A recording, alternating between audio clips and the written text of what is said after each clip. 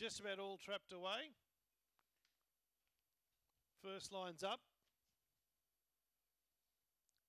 Second line being pushed forward now. This is the box one photography, mixed grade three and four. Well tried favourite Wazahoo. Green light, odds on Wazahoo. Box two, ready?